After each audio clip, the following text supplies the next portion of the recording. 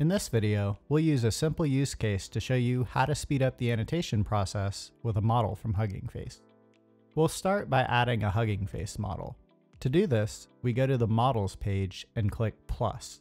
The Add Model page will open. Now, we go to the Hugging Face site to select a model to annotate.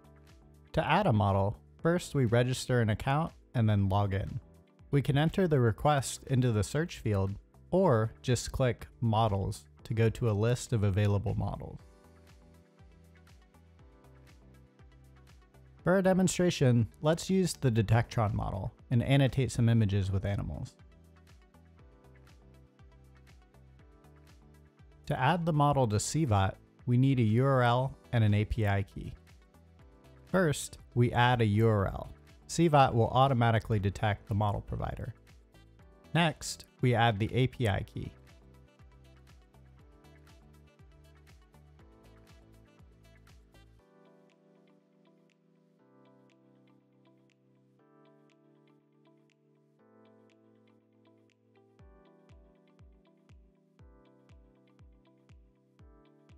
The model has been added and appears on the Models page.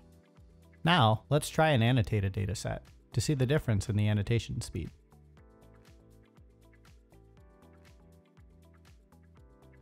Let's set up a timer and annotate a set of 21 images.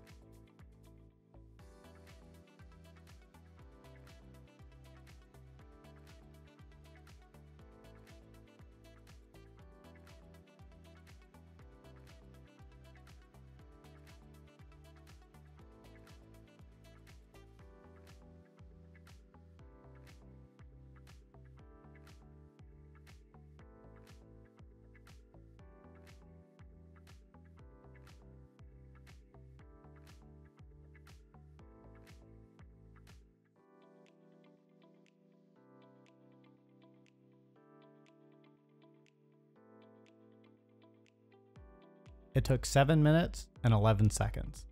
Let's remember this number and do a second round of annotation on the same set. This time, for annotation, we'll use the model we've imported from Hugging Face.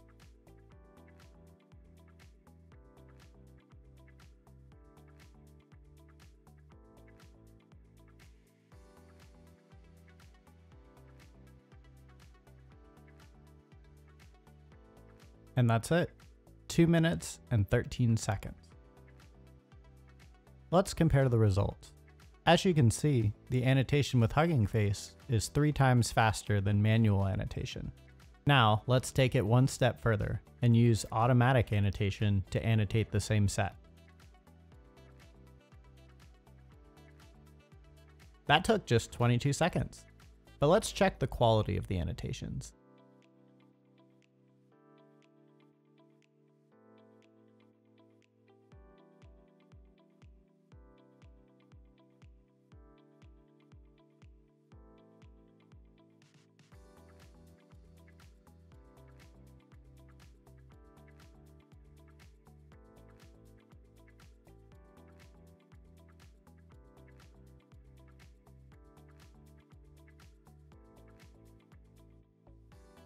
Looks good. Now let's compare all three results. As you can see, using the model from Hugging Face for manual annotation can make the process three times faster, and using it for automated annotation can make it up to 20 times faster. This means you can get more done in less time and with greater accuracy, which can help speed up your work and achieve better results.